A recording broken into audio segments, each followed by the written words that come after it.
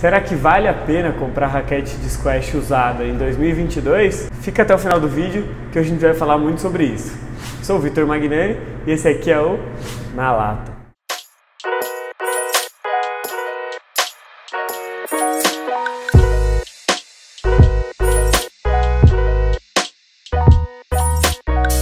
vocês viram, hoje a gente vai falar sobre a raquete usada de squash. A gente sabe que os valores das raquetes novas tá um pouco alto, então a gente vai falar um pouquinho sobre raquetes usadas. Só antes de começar o vídeo, não esquece de se inscrever no nosso canal, deixar o dedo no like e compartilhar esse vídeo com seus amigos, todo mundo que está procurando uma raquete, beleza?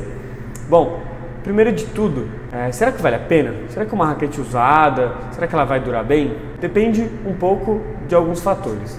Acho que depende do fato se a raquete foi bem cuidada ou não. Então, você sabe que a raquete tem procedência, é de alguém que você sabe que cuidava, que não dava muita porrada com ela na parede, enfim, aí acho que vale a pena. Outra coisa que influencia também é de que marca você vai comprar a raquete usada.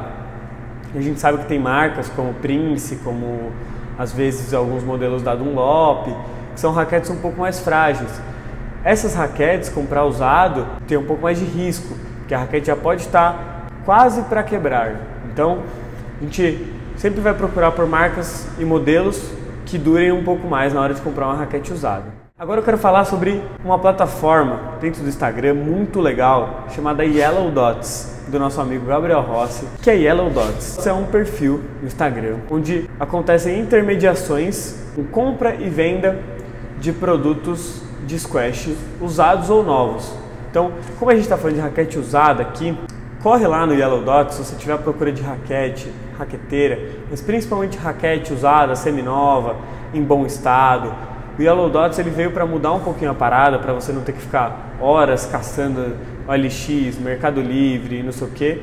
Pela Yellow Dots você vai conseguir raquetes muito boas, por preços melhores ainda, e vai ter um, um, serviço muito legal de intermediação, vai poder vender as suas próprias raquetes. Então é muito legal, vamos deixar aqui o link na descrição para você acompanhar o trabalho do Gabriel. Agora, se você estiver procurando raquete nova para iniciante, clica aqui no card. Acho que é aqui. clica aqui no card. Que a gente vai deixar um vídeo bem legal sobre as, as raquetes melhores para iniciante. Qual que é a conclusão em cima desse assunto? Lógico que é muito mais legal você comprar uma raquete nova Lógico que é muito mais legal você estrear a raquete, você ter uma raquete novinha, lançamento e tudo mais. Só que a gente sabe que os valores estão muito altos. A gente sabe que por conta de dólar, por conta de matéria-prima lá fora, por conta de importação, tá muito caro comprar uma raquete nova, tá muito caro comprar uma raquete lançamento.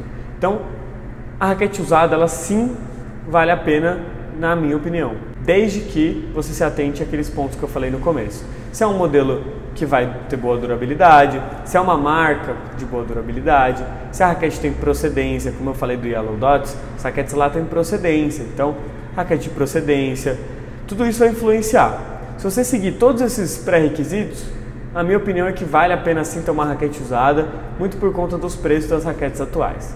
E aí você me pergunta, Será que vale a pena comprar outros produtos usados? Por exemplo, tênis de squash usado, por exemplo, raqueteira usada. No caso da raqueteira, eu acho que se ela estiver em bom estado, eu acho bacana, tá? No caso do tênis, eu acho um pouquinho mais complicado.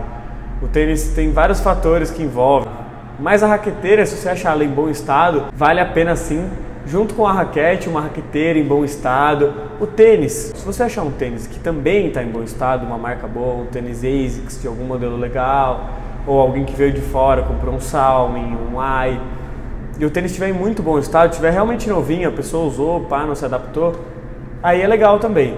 Agora, ficar comprando tênis muito usado talvez não valha a pena, porque ele vai ter o formato do pé da pessoa, ele já não vai mais ter tanto amortecimento, então aí eu acho que não vale mais tanto a pena.